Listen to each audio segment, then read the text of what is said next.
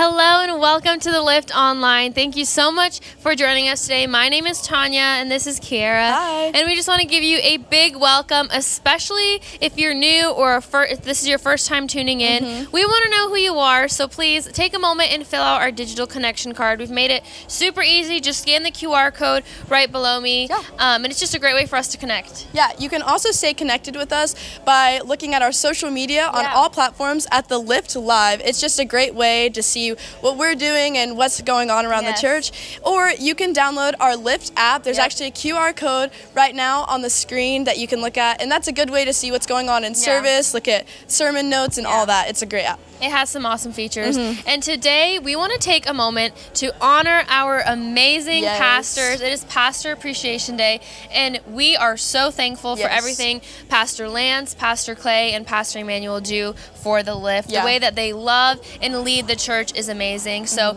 in the chat rooms right now, leave them some encouragement. If they have. Yes. Mm-hmm. impacted your life, let them know.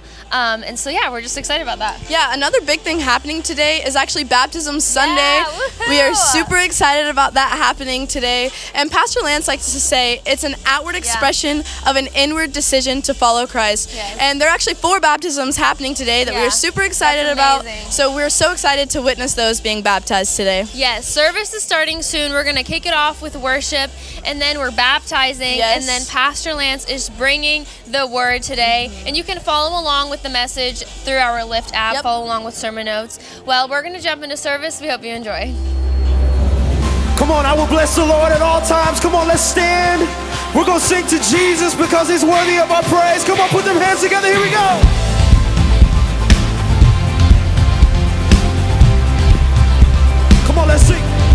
Blessed assurance, Jesus is mine. Oh, what a foretaste of glory divine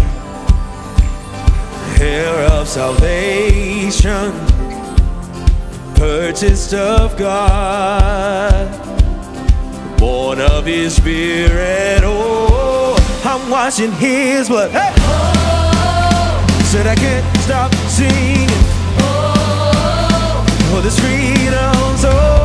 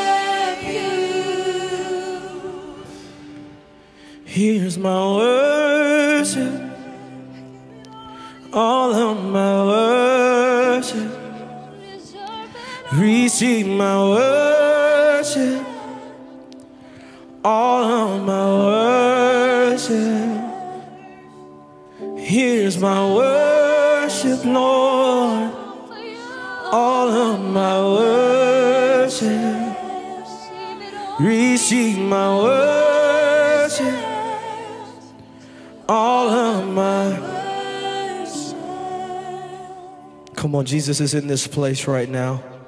His spirit is so sweet. God, we want more of you today. We want more of you today. We don't want the same thing you gave us last week. We want more of you. We don't want your gifts. We want you. God, I love you. Come on, if you haven't this morning, go ahead and tell Jesus you love him. Come on, speak to him. Come on, let's fill this atmosphere with praise and worship to our holy and righteous God. Come on, open up your mouth and tell him. Come on, thank him for his presence. Thank him for his goodness in your life. Thank him for his provision.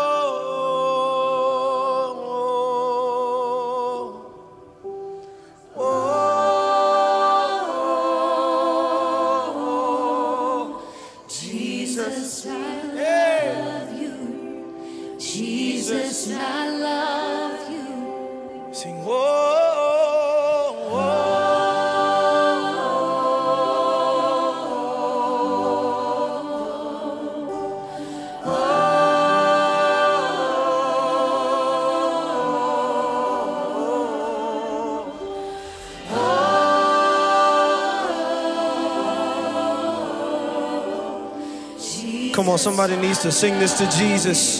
Sing Jesus. I love you. Sing holy,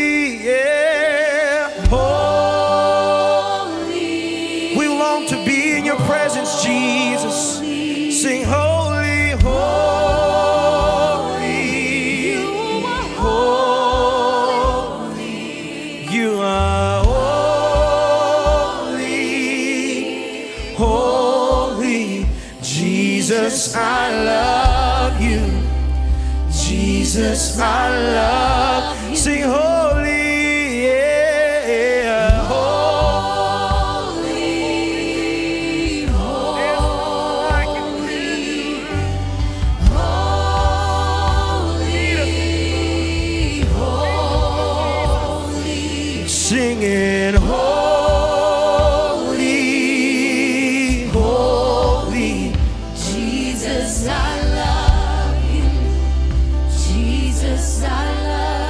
One last time, just sing. Lord, you are holy,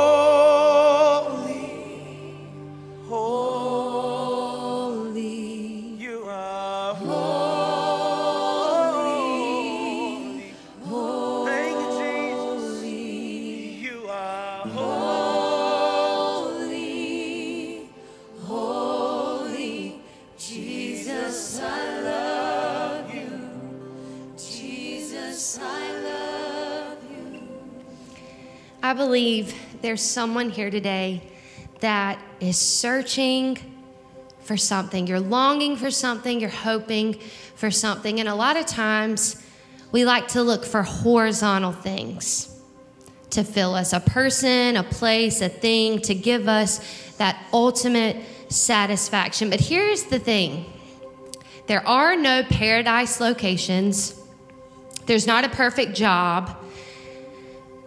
There's not an ultimate satisfying experience, and people will always fail you. So when we look horizontally, really, we're just left hopeless. So that's why we have to look vertically Because when we look vertically to Jesus, we realize that the grace of the cross, it didn't just forgive us, but it ultimately satisfies us. It gives us everything we need to a point that we need no more. So, in order to find hope, we must first find Jesus. Hope has a name, and his name is Jesus.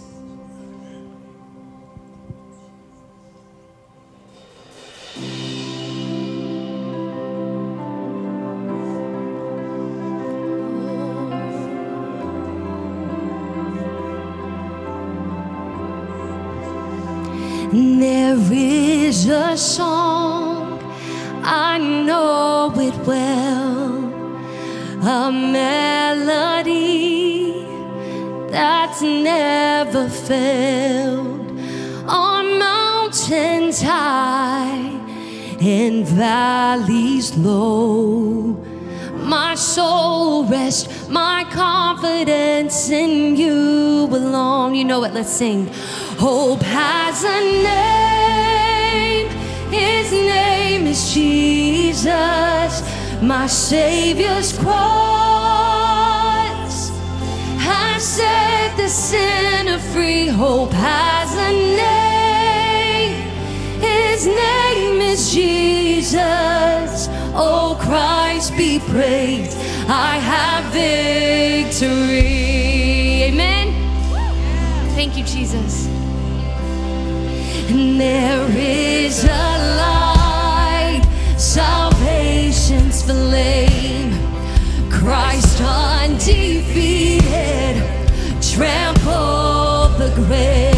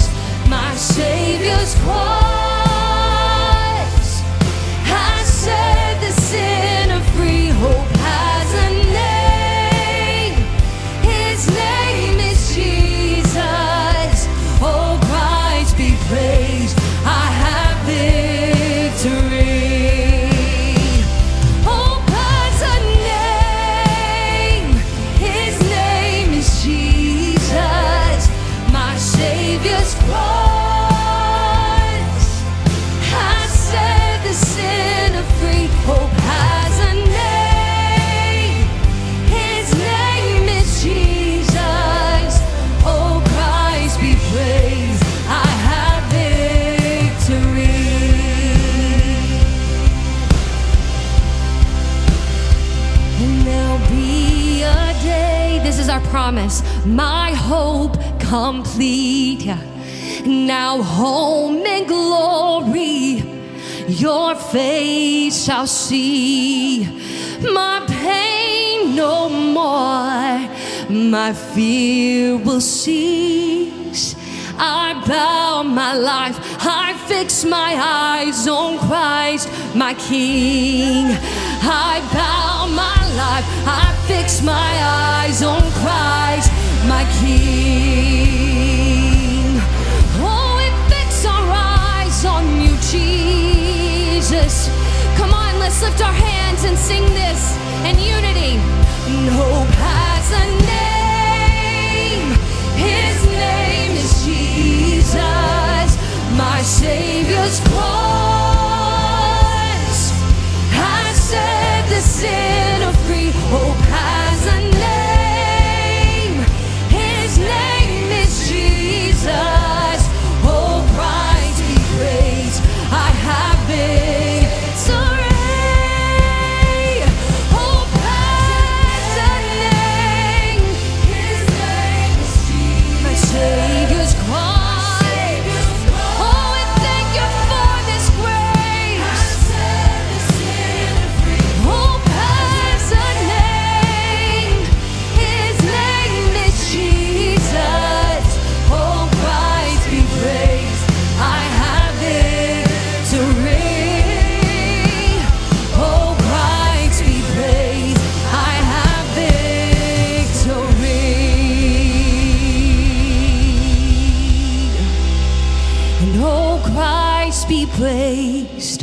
I have victory. Oh, Christ be praised. I have victory.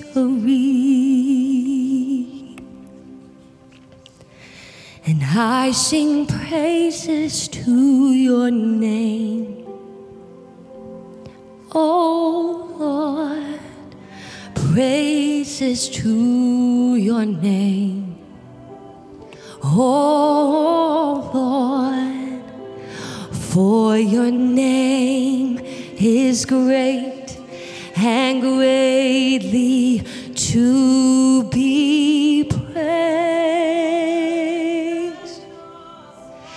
I sing praises to your name.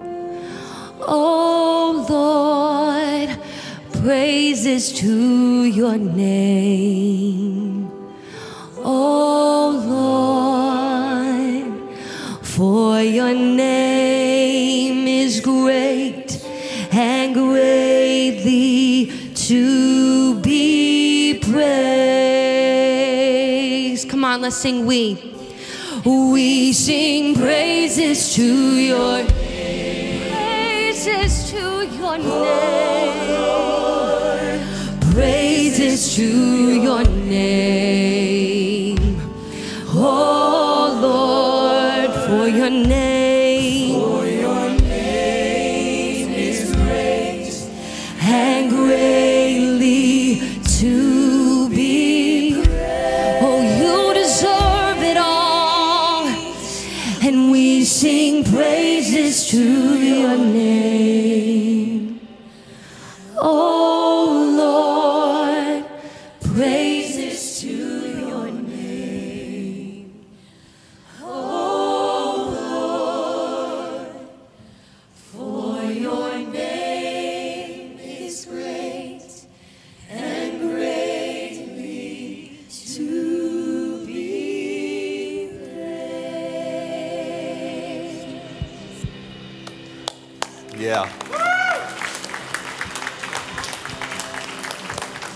Church, I'm going to let you be seated for just a moment. Yvette, go ahead and come on in. And hey, we're going to baptize. Yeah. This is uh, it's going to be a real special day. Yvette's family. I'm going to go ahead. I'm going to ask you if you will go ahead and come on up, and um, Yvette, you go ahead and sit down right there. Yes, ma'am. So,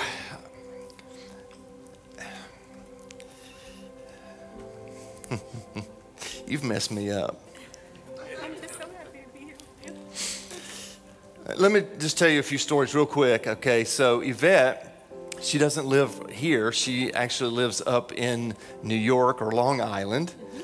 And she has been part of our online church for well over two years now.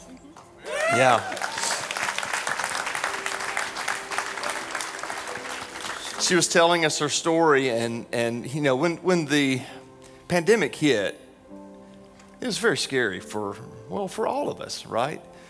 And so for a long time, she tried to find church, couldn't, her family couldn't really feel comfortable, but they found a church uh, by watching online. Like just, and she's like, Pastor, I promise you, I can experience the Lord online. And, and you know, and it's just amazing. You should hear her story. But uh, she's coming today to be a part of our church and our family. This is your family. Look around, Yvette. This is your family right here, all right? And you know what baptism is? We say it all the time. Baptism is an outward expression of an inward decision. And Yvette has said yes to Jesus Christ, and she's coming today to say, uh, just to declare that to the world. Like this is a testimony. And it's so powerful because I'm down here as we're singing, she's down here worshiping. And I mean, I, I've got tears in my eyes just listening to you. Such a powerful story. I love baptism. So let me ask you, with your friends and family surrounded, surrounding you, I want to ask you, have you said yes to Jesus Christ? Yes. Yes. No doubt there, right? So, um, based upon your profession of faith, my sister.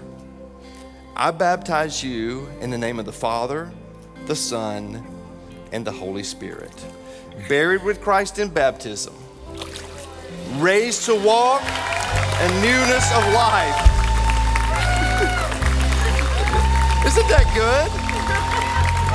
Isn't that good? You came all the way from New York to right here to do that right there.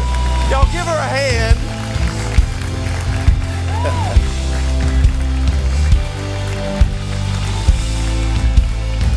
there you go. You're good.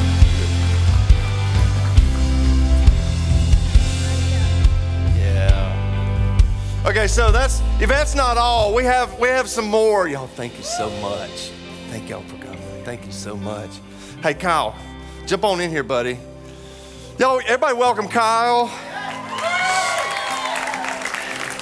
As he's getting in, let me, let me tell you, I, I met Kyle a couple years ago when he and some friends of his showed up here on a Sunday afternoon to do missions. I'd never seen the boy before.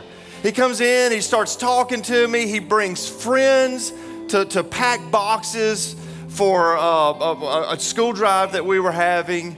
And since then, since then, I, I can't get rid of him. He's here every Sunday, and he's become a good friend.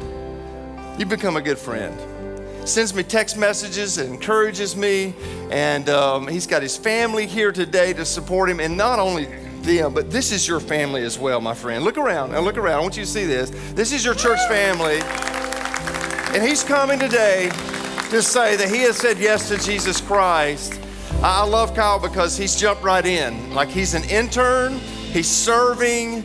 So many things are going on here and he's a part of them. And so I just want to say thank you for doing that, all right? Thank you so much. And your your sitting here is a testimony to a changed life.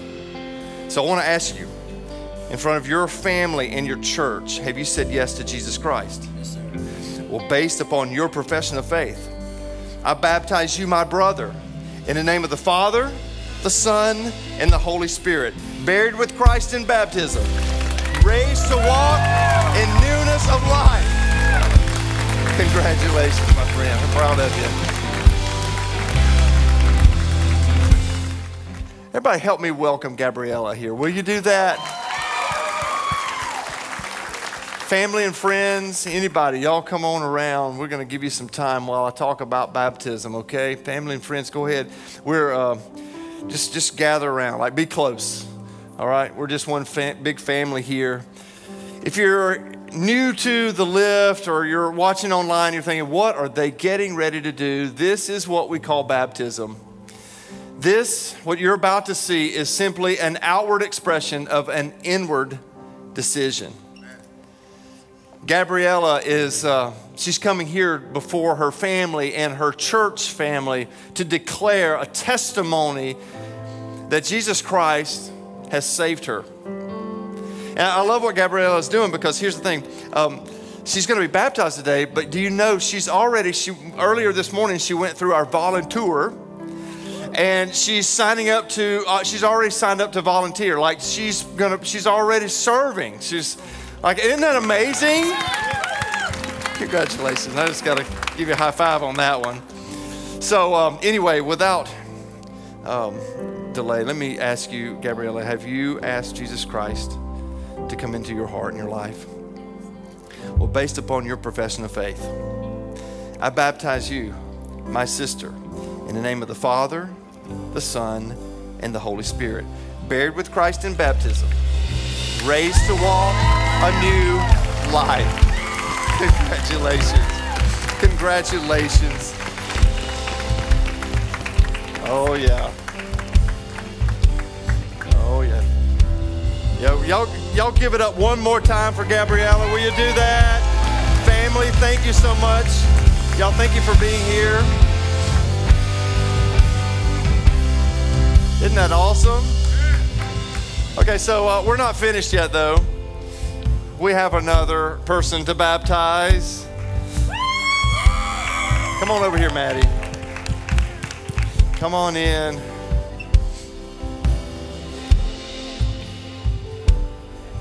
Come on in, Maddie. I'm not going to let you fall. I got you. Okay, friends and family of Maddie, just turn around and sit right down. You come on up. Okay, you come on. Get close. My goodness. I love it. I love it. I love it. Yeah, y'all come on in. You know these people? Oh my goodness. Okay, so just look around. Look around. This is your church family right here. Okay? And uh, we're here to celebrate a changed life. I want to ask you something. Has Jesus Christ came into your life? Have you been saved by Jesus? Well, based upon your profession of faith, I baptize you, my sister, in the name of the Father, Son, and the Holy Spirit, buried with Christ in baptism, raised to walk a new life. Can we celebrate? Can we celebrate? Hey, congratulations. Congratulations. I sing praises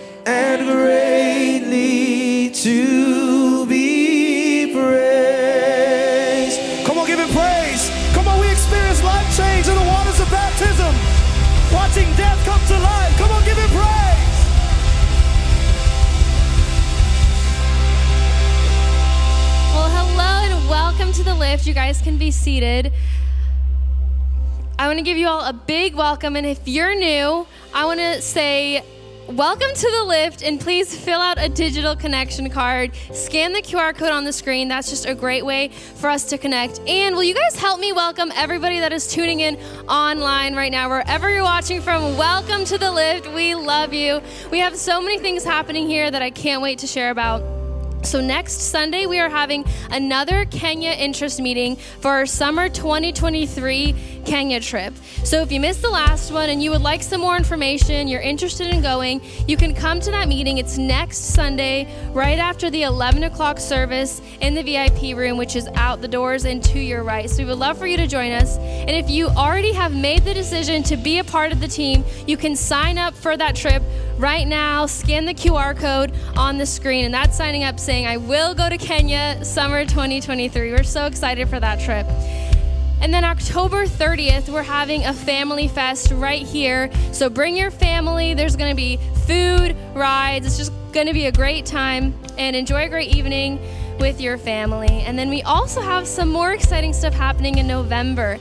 November 13th, we are having parent child dedication. So if you have a little one that has not been dedicated to the Lord yet, now is your chance. Go ahead and sign up for that as soon as possible. We have some next steps we want to walk you through before November 13th. So go ahead and sign up.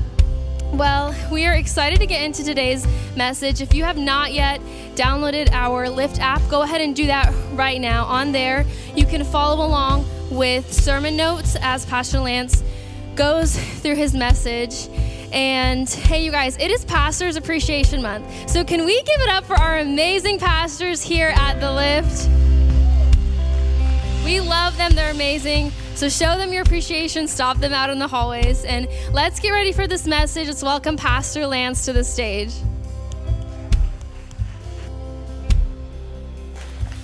Okay. Whew. That's church, right? Wardrobe change and everything, right?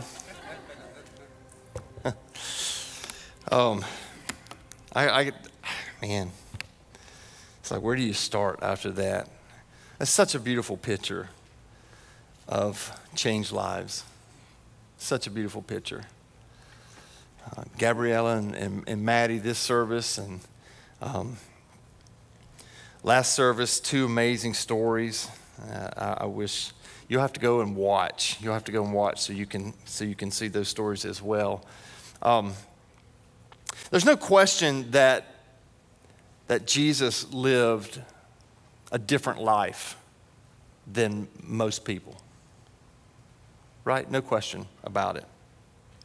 I think the question is how has the way that Jesus lived affected the way that we live?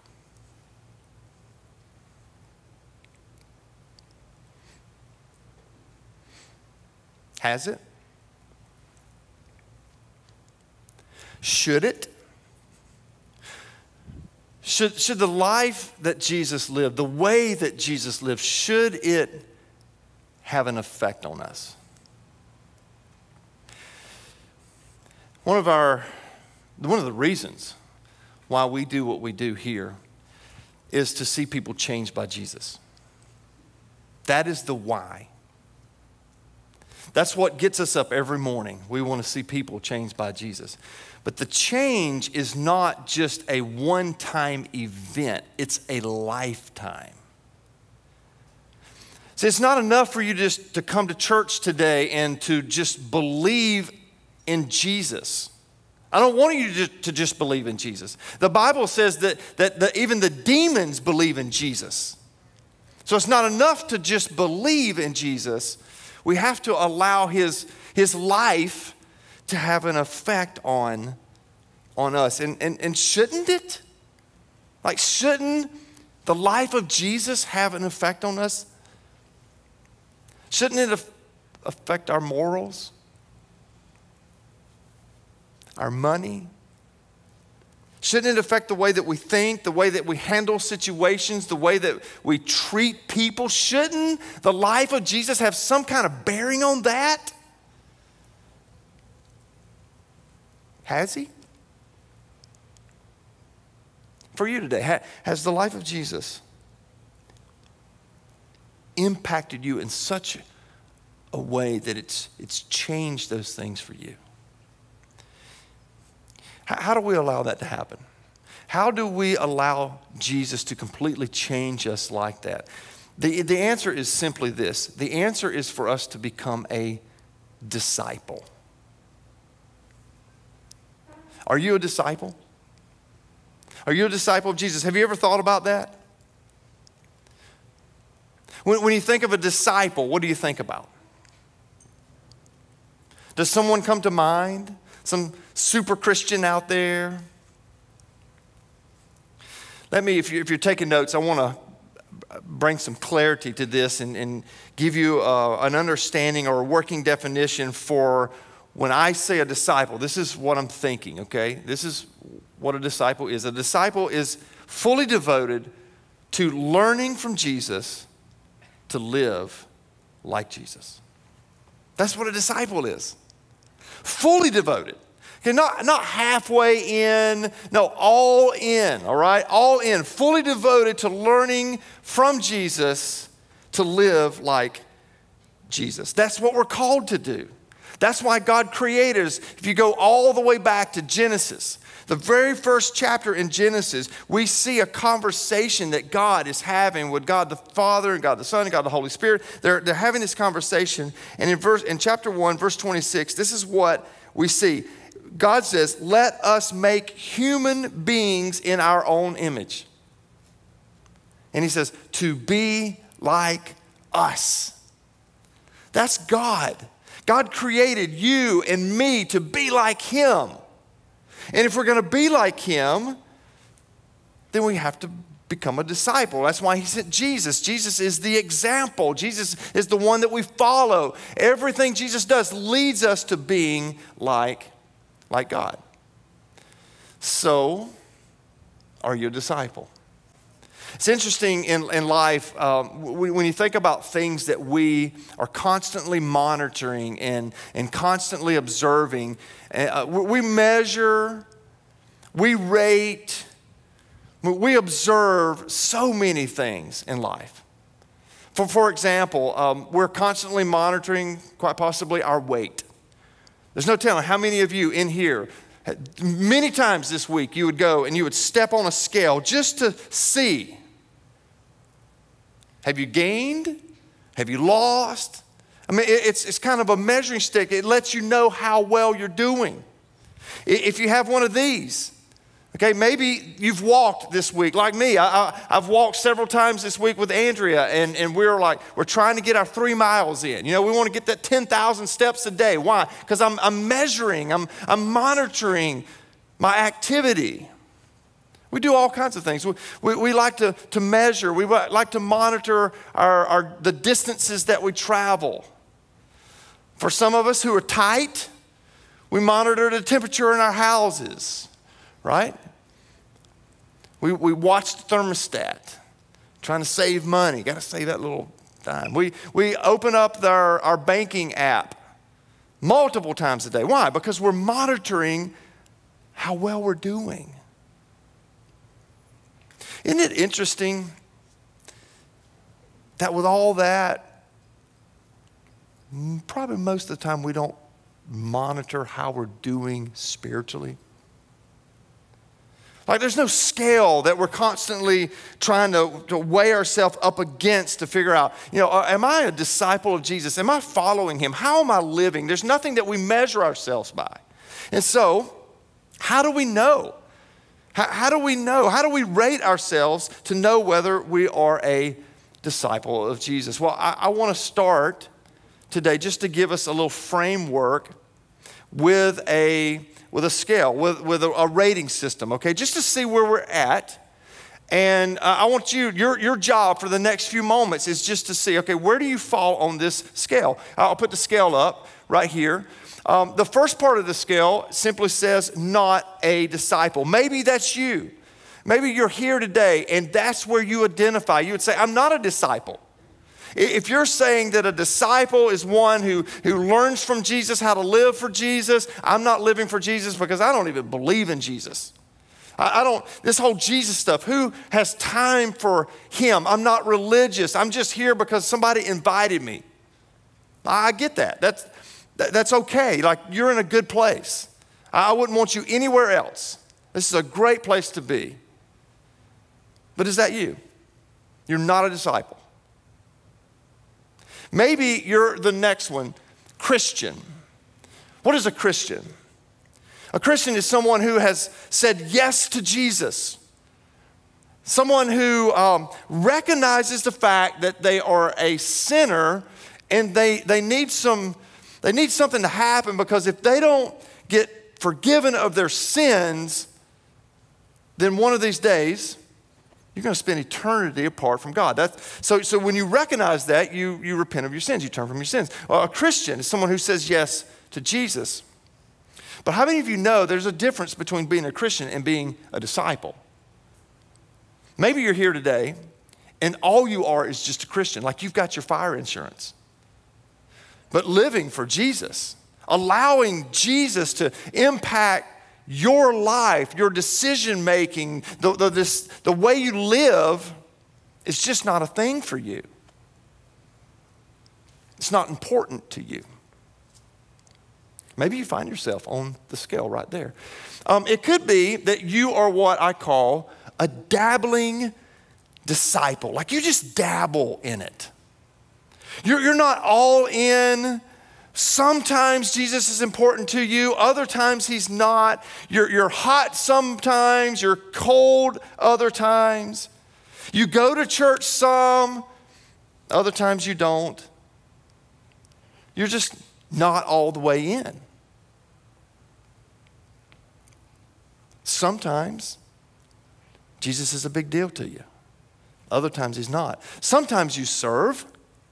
Other times, if your schedule doesn't fit, or, you know, I'm just going to not show up today, you're just dabbling.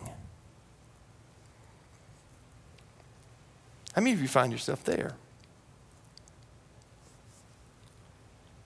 Perhaps you could be, and there's, there's many of you in this room, you could be what we call a fully devoted disciple. Fully devoted. Doesn't mean that you're perfect, doesn't mean that you never sin, but what it does mean is that you're all in. Like every day that you wake up, you wake up with purpose. And not just your purpose, but you know that you've been designed by God for His purpose. You, you wake up with a calling. You, you want to learn from Jesus so that you can live like Jesus. Every situation is affected in your life. The way you think is affected by Jesus. The way you treat people is affected by Jesus. That is a fully devoted disciple. And there are people like that. So, so where, where are you? Rate yourself. Where are you on this scale? Because, see, we, we can't, we, we, we'll never fix it or we'll never move forward, take our next step until we know where we're at right now. It's important for you to know. Are you just not a disciple at all? Are you just, I'm just a Christian? But Jesus, you know, I'm good. Are you just dabbling in it? Or are you fully, fully involved, fully in as a, a developing disciple of Jesus? How do you know? How do you know if you are a disciple? Like, what is the proof of this? I want to spend the time that I have left with you looking at a disciple. Okay, looking at a guy that I think you and I can relate to. When we study this guy's life, he's like you and I. He, he, he messes up, he makes mistakes, but you know what? His heart's there. He's following after Jesus. The guy's name is Peter.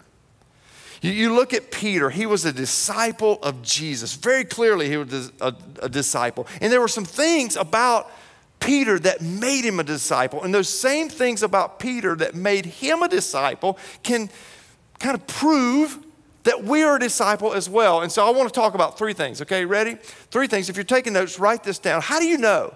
What is proof that you are a disciple? The first one is if if you make other disciples.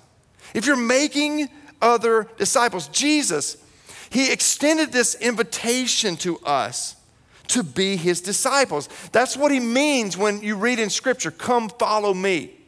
When he makes that statement, he's talking about following after him. It's an invitation to be part of, of God's redemptive work in this world. It's interesting. You, you look at the work that God does. God saves people. You and I don't save people, but, but you know what we do? We have the power to change people. God saves them, but we can change them. We can change them by investing in them. We can change them by trying to, to make disciples out of them. That's what Peter did. You, you track back and you look at Peter's life, moments after Jesus had ascended into heaven. Um, Acts chapter 2 tells us a story about Peter where he is, he's gathered the, the largest crowd that we can see in Scripture that he preached to. We don't know how many people were there, but he's preaching, he's getting ready to preach to this large crowd, and, and some really crazy things are happening. Jesus is gone. The disciples are there on their own, and the Holy Spirit comes down. And when the Holy Spirit comes down upon the people, things get rowdy. Like the, the Bible tells us that there were people from all walks of life there, from every nation were there, from every different tongue were there. And what was crazy about it is that as they were speaking, the people were looking around going, I can, I can understand this. It was as if they spoke in, in, in one language. The early, um, the Jews in that time, many of them looked at those people and thought, well, they're crazy. Like, they have to have been drinking. They have to have been. And Peter makes clear it's only nine in the morning. He's like, no, they haven't been drinking. They're not drunk. They're not intoxicated. Now, what you see is, is, is something like it's from God Himself. And Peter preaches this message to them. And I want you to listen I want you to listen to the, the words that he says, okay, to this crowd of people, largest crowd that Peter has ever spoken to. In Acts chapter 2, starting with verse 22, the Bible says, Men of Israel, this is Peter, he's talking to them, men of Israel, hear these words. Jesus of Nazareth, a man attested to you by God with mighty works and wonders and signs that God did through him in your midst as you yourselves know, like you know it. You know what he did. In verse 23, he says, This Jesus, delivered up according to the, the definite plan and foreknowledge of God, you crucified and killed by the hands of lawless men. You crucified them. Verse 24, Peter says, God raised him up, loosening the pangs of death, because it was not possible for him to be held by it. Like he's preaching about Jesus. You're the ones. You crucified Jesus, but it, God didn't keep him down. No, it, it wasn't even possible for him to stay down. God raised him up. It, look at what verse 32 says a little bit further down. This is, this is Peter. This Jesus that God raised up, he raised him up, and of that we are all witnesses. Like Peter is saying that there are people among us here, we witnessed the resurrection of Jesus. We saw him die, but we, we know that he lives too. We've seen the resurrected body. Now, when they heard this, they were cut to the heart. Like it penetrated their heart. And, and said to Peter, and the rest of the apostles, Brothers, what shall we do? Like Peter preaches this, his first sermon ever we see in Scripture. And the people were cut to the heart to hear about Jesus. And do you know on that day that 3,000 people repented of their sins and place their faith and trust in Jesus. Peter was living his calling. He was called to make disciples. In fact, Jesus told him and tells us today. You, you look all the way back in Matthew, the early, the early verses of Matthew, Matthew chapter 4, he says, Follow me, and I will make you fishers of men. That's what we're called to do. We're called to fish for people. We're called to invest in people. Not, not just like, not just for right now, but we're investing in people for eternity. We're, we're called to fish. How many of you fish? I know some of you, you don't, you know, you don't even, there's no way you can fish. Like you've tried it before. You lose more lures than you catch fish. I get that. Uh, uh, some of you, you know, when you go fishing, you catch more, you pull more sticks and leaves out of the, the, the pond than you do a fish. We're called to be fishermen, but not that kind of fishermen. We're called to fish for people. What are you doing to make disciples? What are you doing? Do you know if we were living this out, truly living this out, if we were making disciples, do you know that there wouldn't be an empty seat in this room? Not an empty seat, but there's some empty seats. Well, what are you doing to make disciples? We're, that's what we're called to do. We're called to make disciples, to invest in people. When was the last time that you invited someone to come to church? I'll take a step further. When was the last time you brought someone to church? As I said earlier, it's God that saves them, but we have the power to change them by our invitation, one simple invitation, you could change somebody. You could change their life by inviting them to church. What happens when they walk in the door and, and, through all the worship and, and everything that happens, God just reaches down and touches their heart and they recognize they need Jesus. And at that moment, they say yes to Him. Imagine, you were a part of that. That's what we're called to do make disciples. How do you know if you're a disciple? If you're making other disciples. Doesn't mean that you're an expert. Doesn't mean that you have all the answers. It just means that you're investing in other people for eternity. So that's number one. Number two is this if you're making mistakes. How do you know if you're a disciple? And well, it could be if you're making mistakes. Like you look at the disciples, they got things wrong. They, they were not perfect by no means. And, and, that's following Jesus doesn't mean that. Following Jesus doesn't mean as disciples that we're not sinners. No, we, we, we get things wrong. We're just trying to figure things out. You look at Peter, and Peter was like all of us. He was sticking his foot in his mouth all the time. He's always making mistakes. I'm going to show you just a few. Okay, one time in John chapter uh, 18, where the, they're coming to get Jesus. Okay, they're, they're going to come get him, they're going to take him off so that they can crucify him ultimately. Peter thinks he's doing a big thing. Peter thinks he's protecting Jesus, right? He, it, it, would be something that any one of us would have done. And listen to what happens. Uh, Peter, um, when they're coming, in verse 10, Peter, having uh, drawn a sword, okay, he drew it, he struck a high priest's servant, and he cut off his right ear.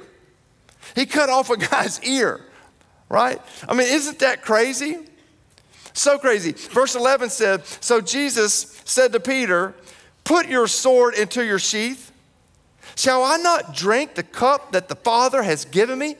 Now, essentially, what Jesus is saying is, Why are you trying to, trying to stop me from my calling? Why are you trying to stop me from doing what I came here to do? Like, put that away. I, I can't imagine how he felt. I, I, thought I was helping you, Jesus. I'm, I'm sorry. Dude, I'm sorry. You know, I mean, dude's ears laying on the ground. I, he made a mistake. We often see Peter make mistakes. Jesus would tell him earlier in, in Matthew, Matthew would record this conversation where Jesus is telling the disciples, This is what we're going to do. I'm, I'm, going to the cross. I'm, I'm going to I'm going to die. And he's telling the whole story, and Peter's thinking, No, not you. I'm not going to let this happen.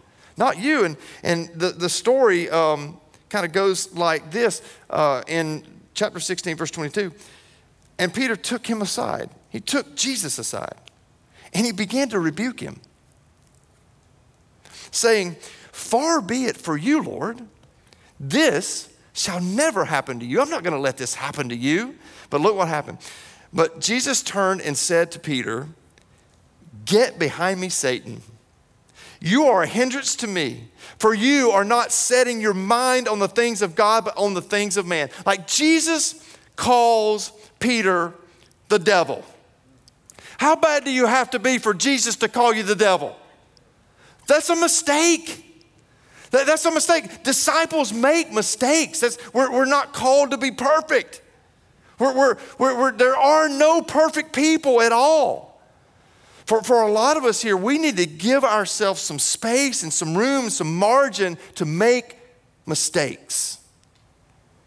I know even this week, uh, I, I was just wrestling with mistakes that even I've made and, and, and just over stupid stuff.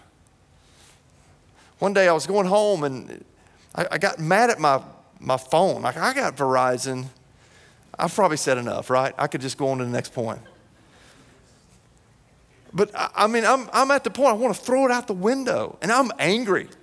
If you pass me during this moment, you probably thought, oh, Pastor, what in the world? You know. And I'm having a moment and, and and it's like the Holy Spirit began to speak to me, and I come to my senses. But after that, I was embarrassed. I didn't talk to God about it for a while. You ever had those moments? When you did something, you said something,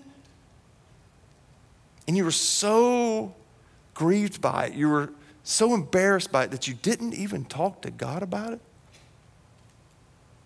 And I felt like he was saying to me, um, hey, Lance, give yourself some room. You're not perfect. Some of you, got to give yourself some room to make some mistakes. Like, if something went wrong in your life lately, congratulations. Welcome to the club. We're, we're not perfect, we're all sinners. We all need His grace. So you might be a Christian and you might be a disciple if you're making mistakes. It's not enough to just sit there and do nothing. Some of you need to, need to stop that. You've done nothing long enough. Now it's time for you to do something. Even if you make a mistake, even if you get it wrong, do something. How do you know if you're a disciple?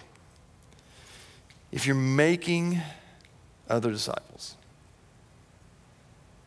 if, you, if you're making mistakes, and then number three is this if you're making Jesus' plans a priority instead of your own plans. Like it's hard to follow Jesus when you're following your plan. Have you ever gone on vacation with someone and you're like, okay, hey, we're going to follow each other. You know, we're going to we're going to hit 485 and then then you know I-77 and we're going to you know you're traveling somewhere and you're like, okay, dude, you lead, I'm following you, and wherever you stop, I'll stop. Wherever you want to eat, I'll eat. You ever done that? And and and what if you decided I'm going to take a different route. You know, I'm going to take a scenic tour. I'm going to get off the highway for a little bit, do some, drive some country back roads. Is that following? It's not. It's not following at all. But that's, that's a great picture for what we try to do with Jesus. How many times do we say, okay, Jesus, I'm going to let you lead. You got it. I'm following you. And then we go the other way. A disciple is one who prioritizes Jesus' plan over their own. You look at uh, Peter's life, he had a plan. He, he was living what he thought was his purpose. He had moved on as a young boy. He, would, he had moved on. He had picked up his, his father's trait, which was to be a fisherman. And, and we pick up this, this, this story in Scripture in Luke chapter 5 where, where uh, Peter had been fishing, and him and along with some other disciples, they had been fishing. They had been doing the thing that they knew how to do. They had fished all night long. That was what they did. They fished all night long in, in, the, in the shallow water, but they caught nothing. Jesus comes along with this huge crowd that's following him, gets up in Peter's boat, and says, Hey, push out just a little bit so I can talk to the crowd. Now imagine this. Imagine all the people. Imagine that many people for him. He had to move out into the water so he could talk to him. And after Jesus got through, you know, talking to the people, giving his sermon, he looked at Peter and he sends him out. He says, Let's go out. Let's go out into the deep water. I love the story because Peter said to Jesus, uh, Well, I've already been out there. I fished all night long. And Jesus said to him, Well, uh, we're going to do it again. But this time, you're going to throw the nets on the other side of the boat. And listen to what happened in verse 6. And when they had done this, they enclosed a large number of fish, and their nets were breaking. They signaled to their partners in the other boats to come and help them. And they came and filled both the boats so that they began to sink. See what happens when you go Jesus' way? Verse 8 says, And when Simon Peter saw it, he fell down at Jesus' knees, saying, Depart from me, for I am a, a sinful man, O Lord. For he and all who were with him were astonished at the catching of fish. They'd never caught any fish like this. They had taken him, and so also were James and John, son of Zebedee, who were partners with Simon. And Jesus said to Simon, Do not be afraid. From now on, you will be catching men. Right then, Jesus gave him his assignment. You're, you're going to be a fisherman, but you're fishing for men. And when they had brought their boats to land, they left everything and followed Jesus. They left it all. See, a disciple puts Jesus in front of themselves.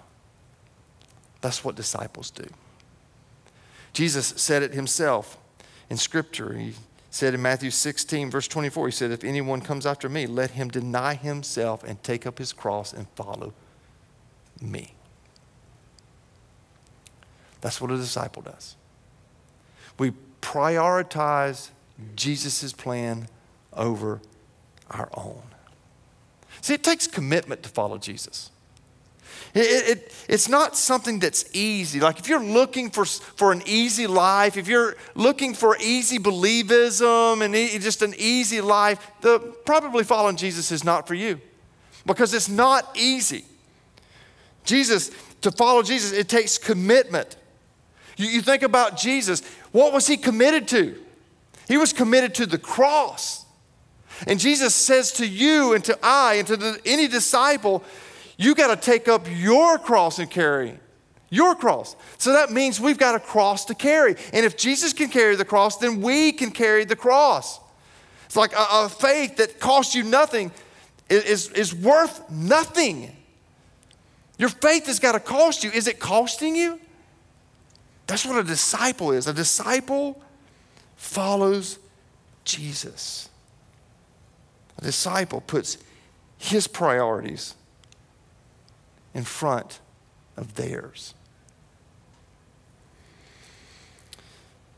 You remember Jesus, uh, Peter's first sermon? It was something I left out of the story. He preaches his first sermon. 3,000 people are saved. They asked him, What shall we do? Let me, let me go back to that story. I want, I want to read to you what Peter said.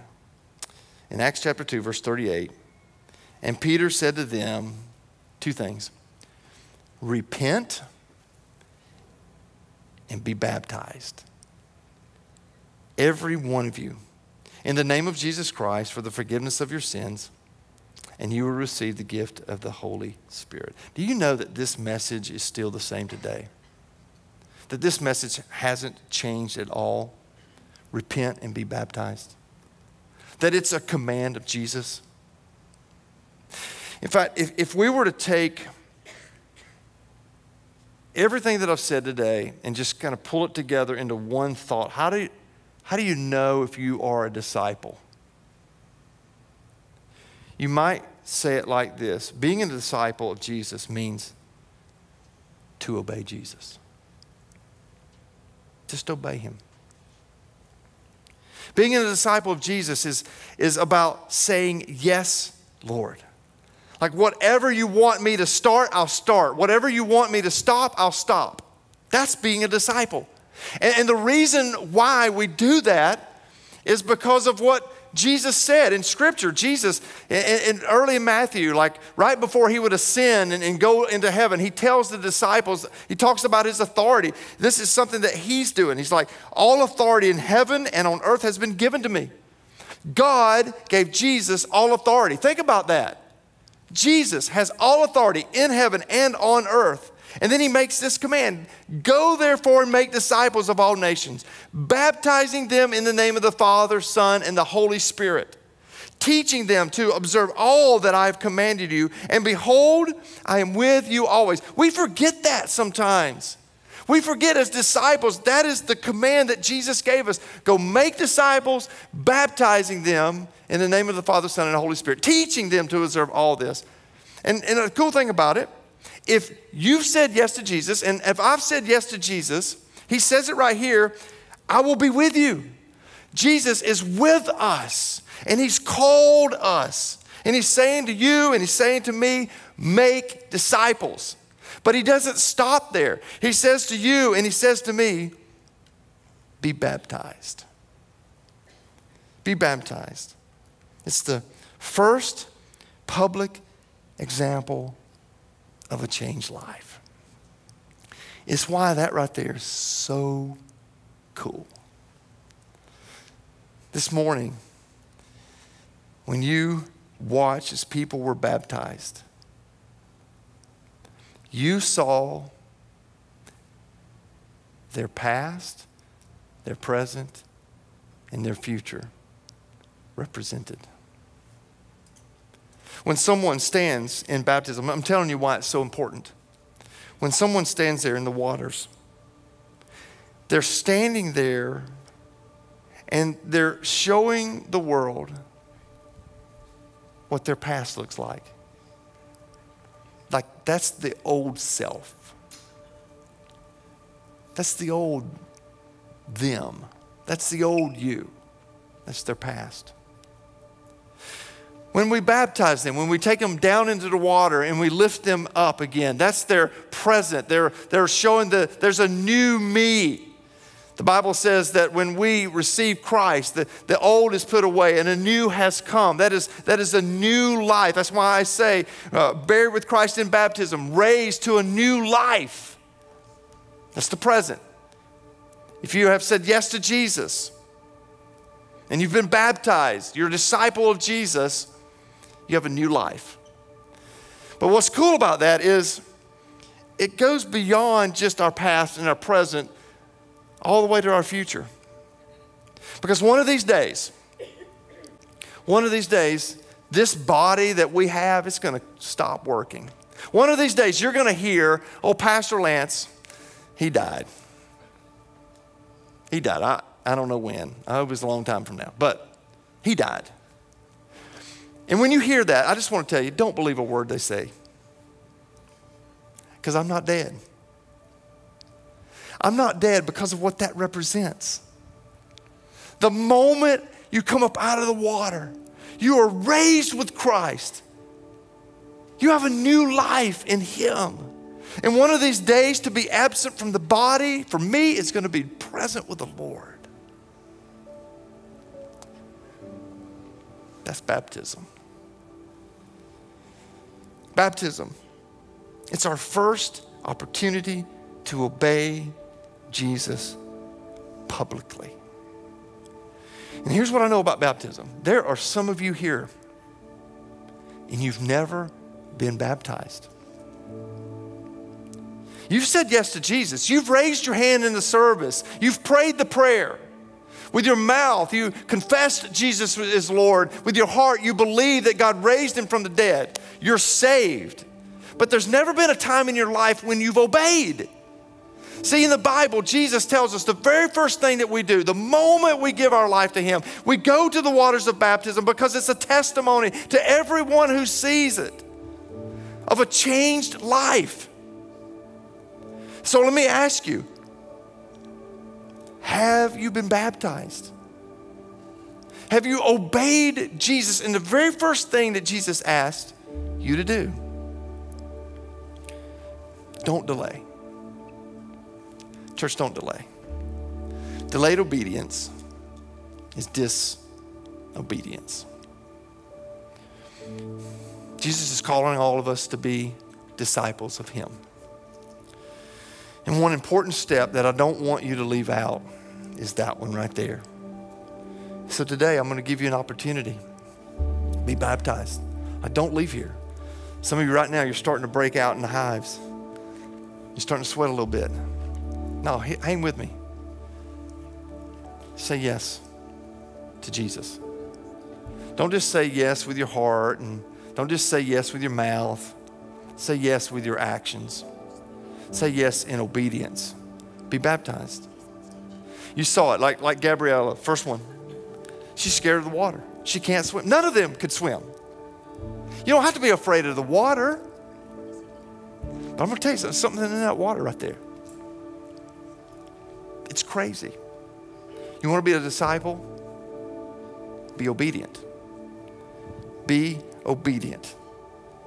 Being a disciple isn't it, it isn't something that we just fall into, but being a disciple is someone that we become. And the good news for all of us here is that God wants to make disciples out of all of us. Will you bow your heads? Please close your eyes. Don't look around. Don't look at your neighbor in front of you. Don't look at anyone beside you. Just for a moment, take some time with God and, and answer this question for me, will you? Are you a disciple? Are you? Are you a disciple? Or, or are there things in your life that's pre- preventing you from fully following Jesus? From fully saying yes to Him? If there are, right now, why don't you just begin to talk to God about those things? Like, get them off of your heart, get them out of your life. Surrender them to Him, give them to Him. Are you a disciple? Maybe there's some of you here, and I asked that question, and it's a clear no. You know you're not a disciple. And you're not a disciple because you're not even a Christian. You have never said yes to Jesus. You don't have a personal relationship with Jesus. Let me tell you something. That means that you've got another step. Like today for you, you need to know that, that God wants to make a disciple out of you, but the first thing you have to do is say yes to Jesus. That's the first thing. So I want to invite you right now say yes to Him. The Bible tells us that if we with our mouths would confess that Jesus is Lord, and if we would believe in our hearts that God raised Him from the dead, we would be saved. I just gave you the way to salvation right there. Confess Jesus with your mouth. Believe in your heart. So I want to just give you a moment. Right now as your your eyes are closed your but your heart is open if god is speaking to you right now like you know i don't have a relationship with jesus but i want to say yes to jesus. Right now say yes to him. The way you say yes is just right now. Begin to pray this prayer with me. Go ahead pray this prayer. Say jesus will you please forgive me of my sins jesus i know i need you so today, I am turning from my life of sin to a life surrendered to you. Jesus, come into my heart. I'm all yours. Jesus, I'm all yours. Listen, if that was your prayer, Jesus Christ just saved you. He just stepped out of heaven and right into your heart. If that was you, wherever you are, do me a favor. You got to do something so important. Will you tell me? Right now, will you tell me by just simply lifting up your hand? Would you say that, hey, Pastor, I just prayed that prayer? I just, I just said yes to Jesus. Is that you? Wherever you are right now, I'm just going to ask you, would you just lift up your hand right now? Just lift it up. Lift up. I'm not going to come to you. I just want to know from right here. Just, just lift up your hand, lift it up, and hold it up. Just lift it and hold it up. Hold it up, hold it up, hold it up. Hold it up. Hold it up high. Yeah, hold it up. Pastor, I said yes to Jesus. I said yes to Him. Thank you so much. Thank you so much. Would you stand, everyone, just stand to your feet? Stand to your feet. This is what we're going to do today. We're going to close with a song. I'm going to ask our, our, our, prayer team and our, our counselors, if you will, just to come down here to the front. And I'm going to tell you what we're here for. We're here to pray with you. We're, we're here to connect up with you. You can come and you can take these people by the hand. They love Jesus, they are disciples of Jesus, and they would love to pray with you. They would love to talk to you in any way they can. Some of you, you need to come take them by the hand and say, I need to be baptized. All right? I need to be baptized. And this is what we want to do. we we want to baptize you today. We've got shorts, we've got t shirts. We're ready for you. We've got towels, they're clean, they smell good. All right? You come you take these people by the hand as we sing, as we sing about the truth of Jesus there's so much truth in this room. Come on, you come, you come as disciples. If there's anything that's holding you back, you just come down here and pray. Just give it all. Don't leave here carrying that weight with you. No, no, leave it right here. Today, let's do business with Jesus. Come on, come on, let's do it. Let's do business with Jesus.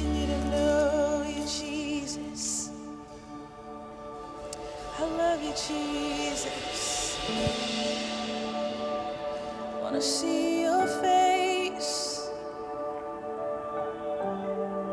To see your face.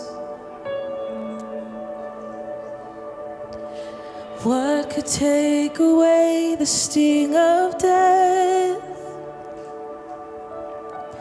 Only a love I hadn't met. And what could cause this restless heart to rest? Only the promise that you kept for so long. I was searching for truth when all along I was searching for you. Then you opened my eyes. You opened my eyes to see, Lord. Oh, I was blind to love before. You opened my heart to know the truth. Now all I see is you. All I need is you. What could cause the broken things to heal?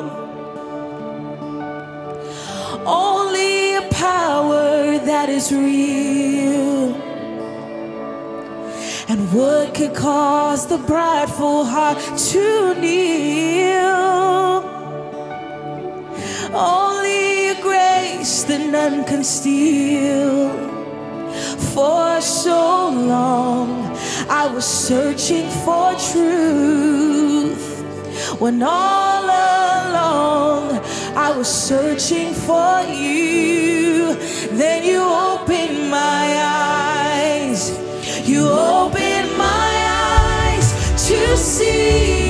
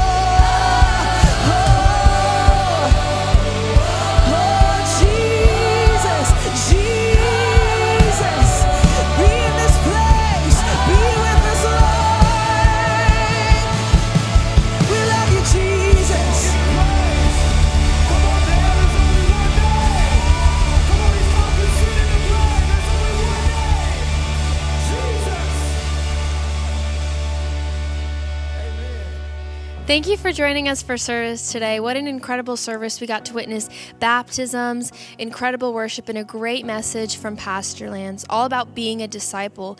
And I like the question Pastor Lance asked Are you really a disciple? And there's more to that than just believing in Jesus.